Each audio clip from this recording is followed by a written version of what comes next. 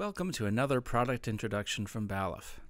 Today we're sharing the latest additions to the Balluff family of magnetic linear encoders, the BML085L and the BML08MH. Like our other absolute magnetic encoders, these stand out in applications where absolute accuracy of position and end of travel is required.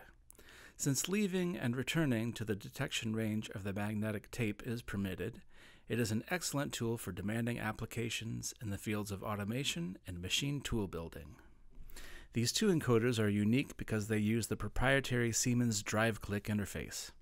This allows the encoders to integrate into Siemens motion control environments and exchange information. They have been Siemens tested and certified. Plug and play installation makes incorporating them into the drive system easy. The controller automatically detects the sensor and its basic settings.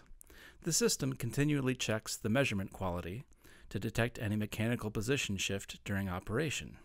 Its automatic status monitoring detects the quality of the signal.